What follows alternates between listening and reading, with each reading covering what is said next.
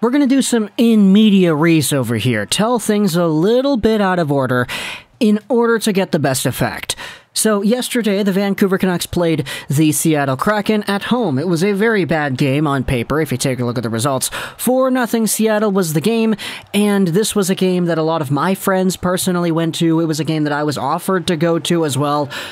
And it was one of those where I was like, you know, once that game wrapped up, I thought to myself, all my friends, they actually spent some time they either drove out to downtown, parked beside the arena, walked over, grabbed a hot dog at Costco, and made their way, or they made the trek over onto the SkyTrain. They went onto the Expo line, got off at Stadium Chinatown, got the Costco hot dog, and went from there.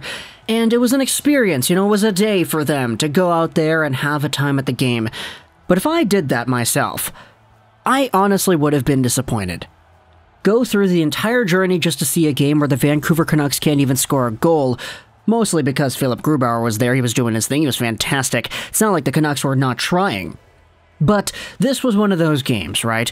And one of the best parts about this game, despite the fact that the Canucks got shut out at home, was Podkol himself. And I say that because that's his Instagram handle. Vasili Podkolzin went out there and showed off what made him special. This video goes over the entire profile of Podkolzin. How, two years ago, he was just a Vancouver Canucks draft pick, 10th overall, who was taken in Vancouver, all the way to today.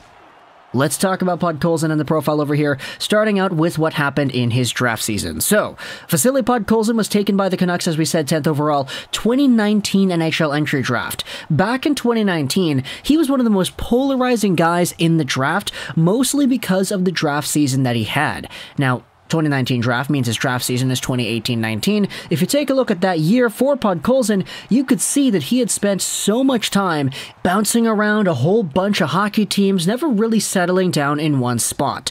The 2018-19 campaign started off with the Hlinka Gretzky tournament, which put Vasili Podkolzin on the map, where, as the captain for the Russian squad, he put up 11 points in five games played. I remember seeing all the hype back here in August of 2018, seeing how good this Podzolskin guy was. And I say it intentionally like that because some people were not really pronouncing his name right in the time. Podkolzin in the Hlinka Gretzky tournament was an absolute force amongst boys. He went out there and dominated the tournament with eight goals in the five games played, too. A lot of the goals he scored were picking up the puck in his own zone, charging to the goal, getting by one or two guys by any means possible, and crashing the net with the puck going in as well. A few of the other goals he scored were absolute laser beam snipes.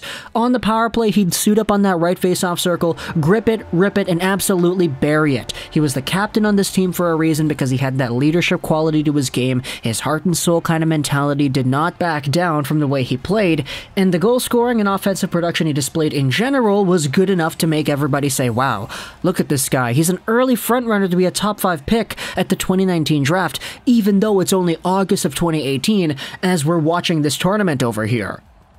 As the year went on, though, you never really saw Podkolzin produce the same amount of points in pretty much any other area of his draft year.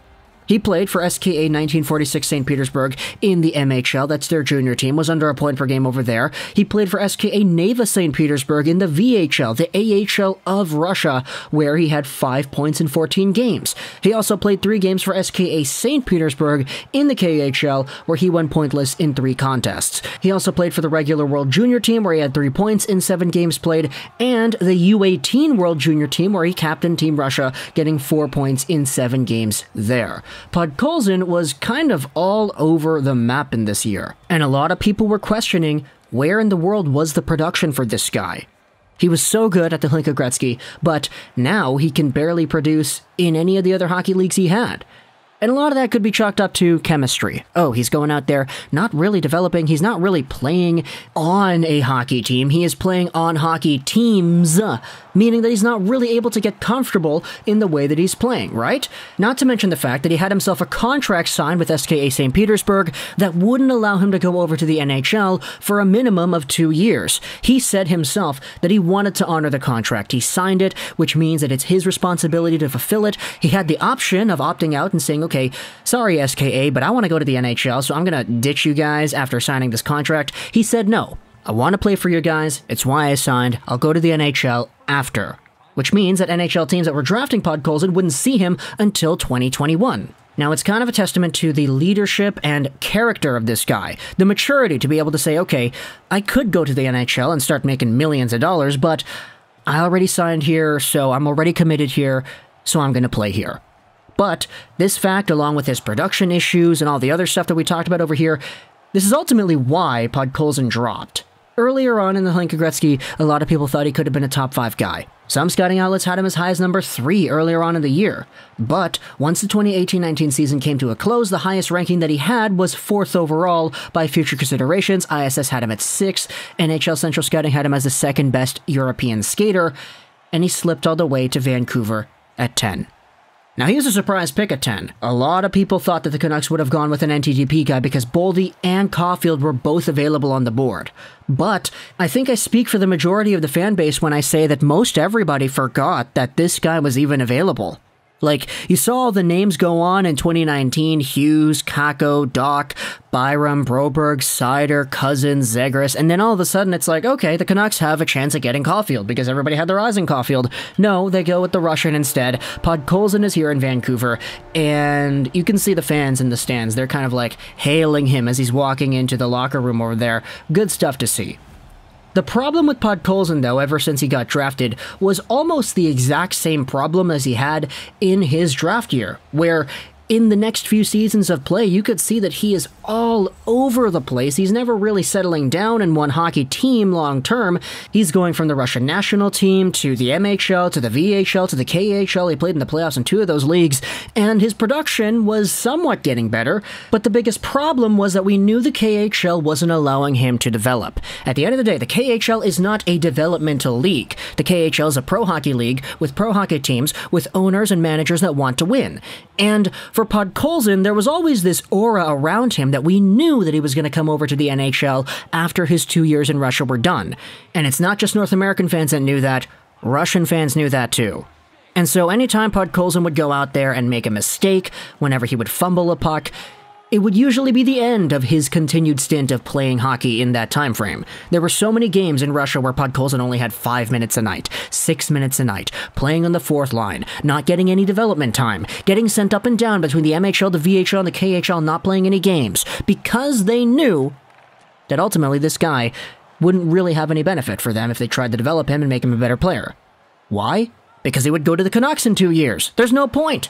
We had ourselves a lot of situations like that in Russia for young prospects that are drafted by NHL teams. That's an entirely separate issue, but it's one that Podkolzin had to deal with. And it's partly why his production was so bad. And a lot of Canucks fans knew this, which is why nobody was really sure as to how Podkolzin really was. We didn't really know how good he actually was. If you gave him the keys to the car and say, okay, it's yours. Don't matter if you do a mistake. Just do what you want to do.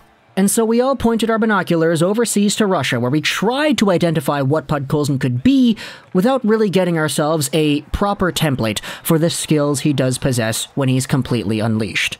As a result, with Boldy doing his thing, with Caufield, with Newhook, and all the other guys in the draft taken after Podkolzin producing points and doing all this stuff, there was still some debate as to whether or not Podkolzin was the guy that was the best pick available, but we all knew at the end of the day that Podkolzin would be that heart and soul kind of winger. He does everything for your team that he can. He's a do or die winger. You're never going to go out there and get work ethic concerns out of Podkolzin. He never ignores his assignment. He's not afraid to get physical. He's not afraid to block shots. He's not afraid to do anything he can to make sure that his team wins a hockey game. He was projected towards being this coach's fan favorite kind of guy, along with the tool set that he had that he displayed at that Hlinka Gretzky tournament all those years ago. Until the playoffs in the KHL, where, for SKA St. Petersburg, one of the most expensive teams in the KHL, Podkolzin put up 11 points in 16 games played. We had finally started to see him actually get more ice time and start to be given, as I said, the keys to the car. He started to produce, and a lot of Canucks fans were like, okay, this is the guy. This is the guy that we drafted right here. Not that guy that's being sheltered and being passive and not wanting to make a mistake like he had been the previous two years. This is the guy. And now he's in Vancouver, his KHL contract expired, and we still have ourselves a few more moments of unraveling to go through. Here's a tweet that I thought was very good right here from Dave Hall of Dobber Prospects. Podkolzin is slowly learning to show his creativity at the NHL level. I don't blame him for being a bit tentative so far. If he made a small mistake last year, he was glued to the bench for days. Tonight, we are getting a quick glimpse of where his creativity can go.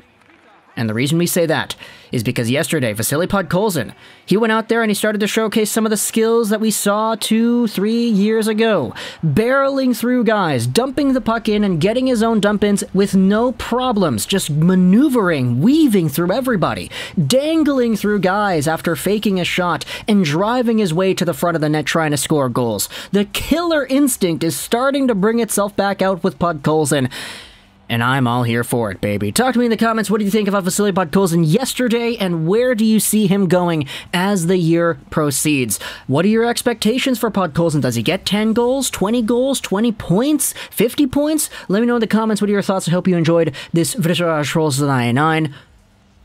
And bye.